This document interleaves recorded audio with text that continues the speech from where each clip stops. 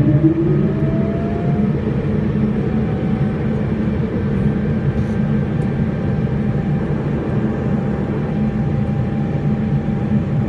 review the safety briefing card in the seat pocket in front of you and follow along as the flight attendant covers the important safety features of our Saab 340B Plus. Your seatbelt should be fastened now and at all times when seated. Fasten your seatbelt by placing the flat metal fitting into the buckle and pull on the loose end of the strap to adjust the fit so that the belt is low